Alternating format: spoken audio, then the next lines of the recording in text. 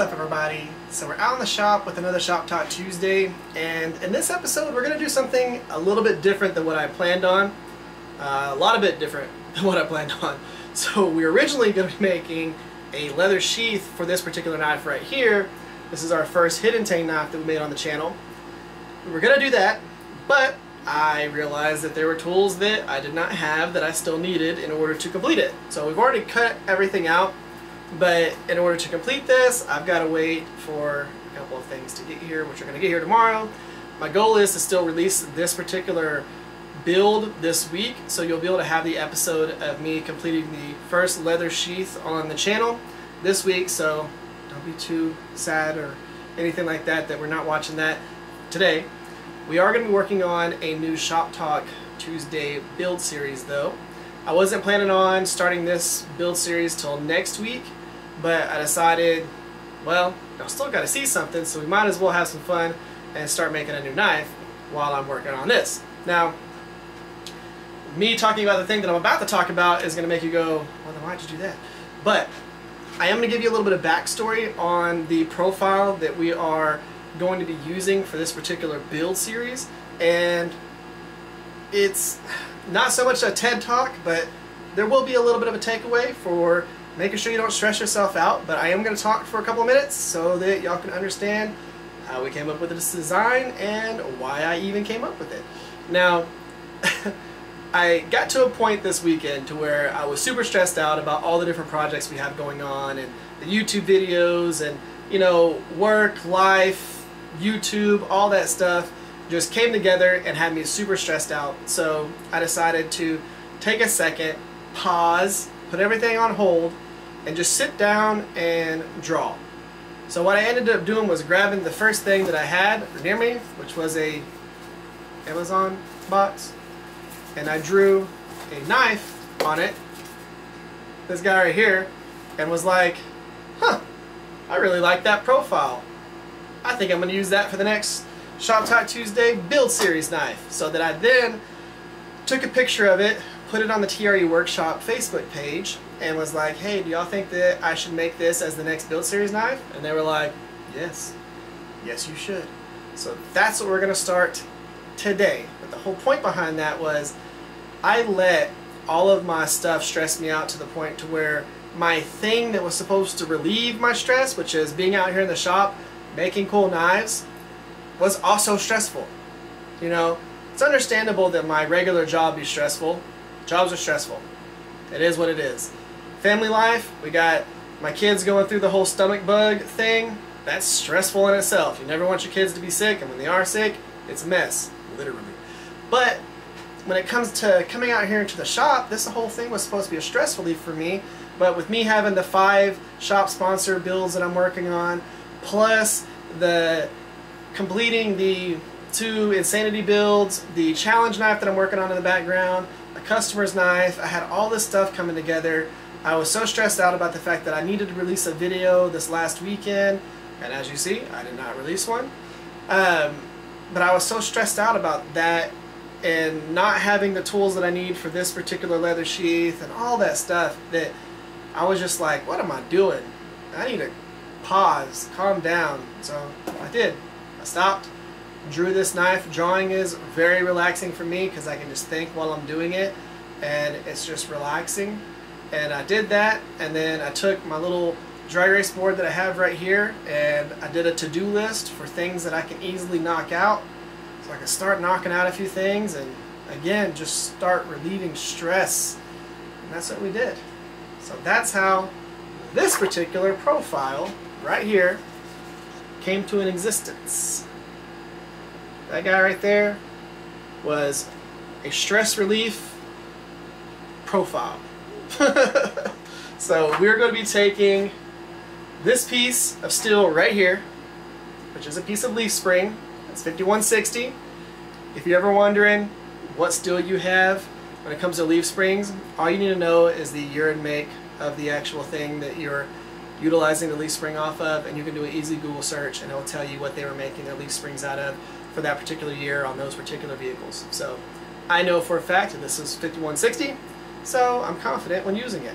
Now, something that I've got to focus on a little bit on this is we got to flatten this out because it does have that leaf spring curve to it and it does come to a taper at the end and I am going to utilize that taper a little bit on the tang side of this so we do got to make sure we get everything nice and straight it's not one of those things that I can easily just take and flatten out and call it good because I do got to make sure that the center of this taper is centered with where the tip's going to be because you can easily flatten this and almost make a chisel out of it by flattening one side and not really focus on pulling that taper back down towards the center.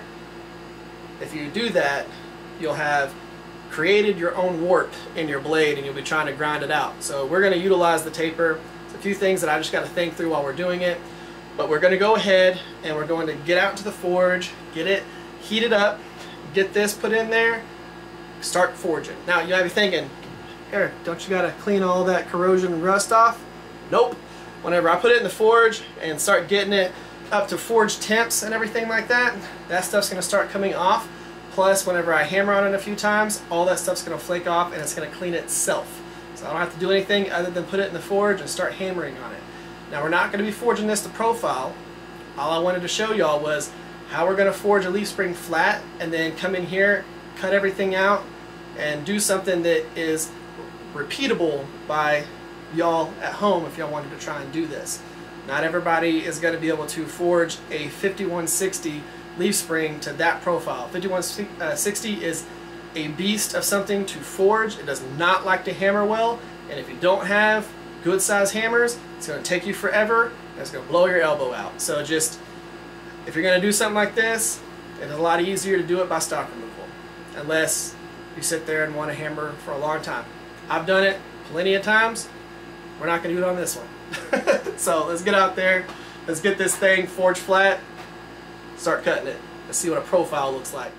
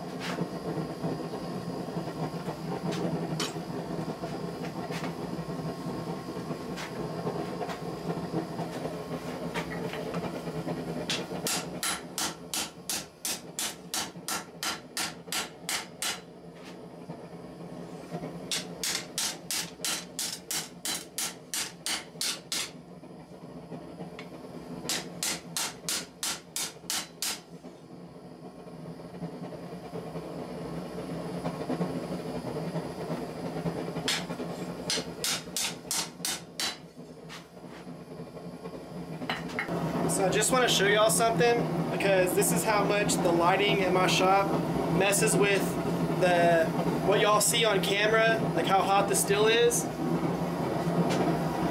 I take this out, put it on here, shut the door, this still has the light on. That's how hot this actually is.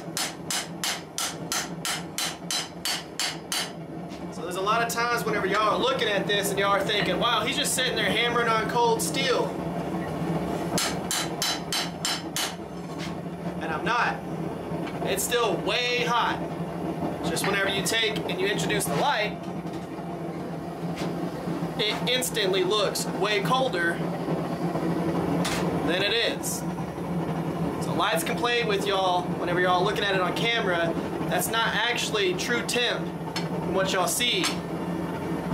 That's why typically whenever I quench, I quench with the door shut and low light as possible so you can actually see how hot the steel is. But that's a big difference than that, wouldn't you say? We're almost there, straightening wise. We just got a couple more things to work on.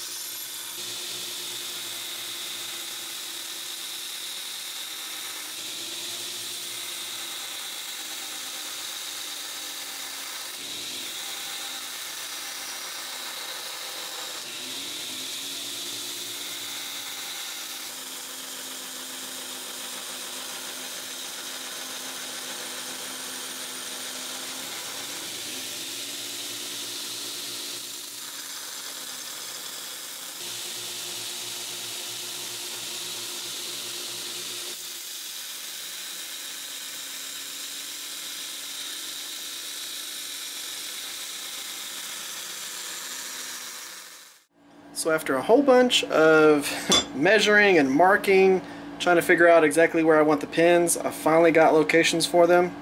Now of course this is going to be a lanyard hole right here, but trying to figure out what looked good between the center of this here and here because we're going to have different pin sizes because this is so much larger the center from the center to the edge of the hole versus the center to the edge of the hole. Of this, it put it to where the hole was wanting to be further back this way and then it would have looked off from this distance. So I had to figure out exactly what I wanted to do. So I had to mark two different lines go from the center of that and then figure out what center I wanted it to be. So that's what we have marked on here now. Now we're just going to punch them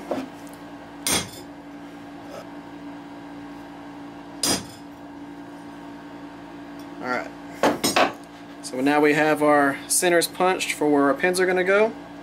And go ahead and drill those out. Now we're going to be using a 3 16 drill bit because we're going to be using 3 16 pins. I will tell you this, I do, I'm doing all this before the bevels and everything because I want all of this flat area up here to be able to clamp things down because we do have a tapered tang so there is a gap back here. Now one of the things that you can do is you can take and put a spacer behind here and that way whenever you're drilling through it drills through straight. Now one of the things to note is I am going to oversize the holes a little bit. It makes it a lot easier for you to put your scales on here and the pins to slide through easily. There's no need for these to be super tight around your pins. You just want to make sure the holes are tight for your scales. Epoxy will fill up any little gap that you have here. So we're going to go ahead and drill this through.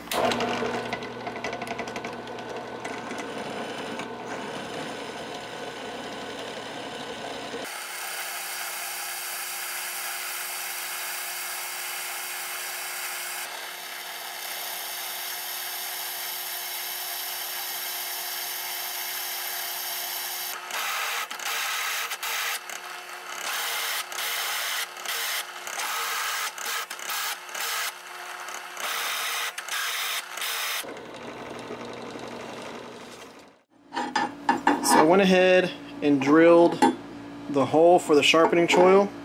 So what we're going to end up doing is just connecting this line, the outer line there, this outer line here. That's going to give you that little R shape sharpening choil. So that's all we got to do now.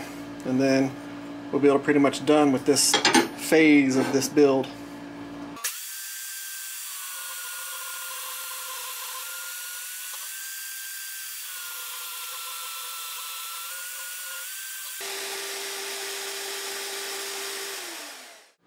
Alright guys, let's go ahead and wrap this one up right here.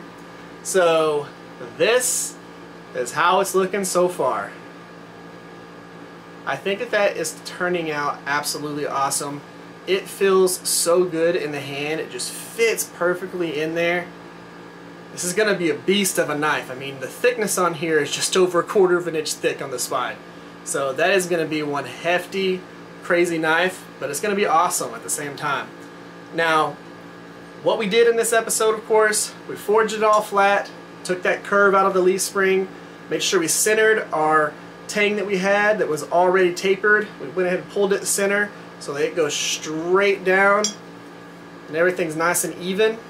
And then we went ahead, cut everything out with the angle grinder, refined that profile on the 2x72. I did do a step off camera where I went on the oscillating spindle sander and just kind of smoothed everything out inside here on the spine and all that.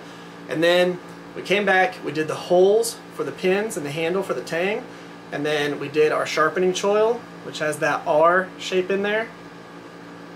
Now, the thing that we need to do next in the next week Shop Talk Tuesday is grind in the bevels so that it really starts looking like a knife. And then we need to grind in our fullers to save weight through the handle here.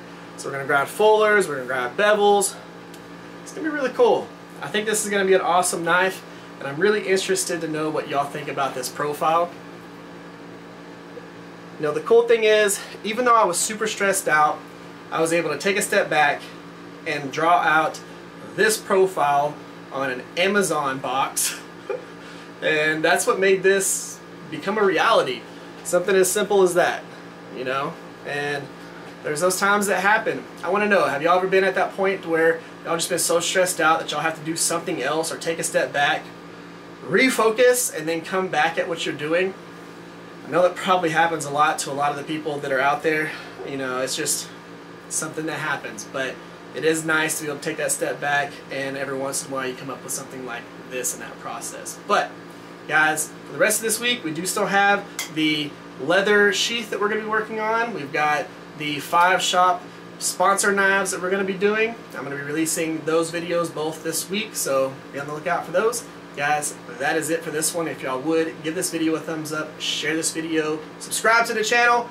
If you haven't yet, I would really you know, appreciate that. We're almost at 25,000 subscribers, which is an awesome benchmark. But guys, y'all have an amazing day. Y'all stay safe out there. I'll catch y'all next time.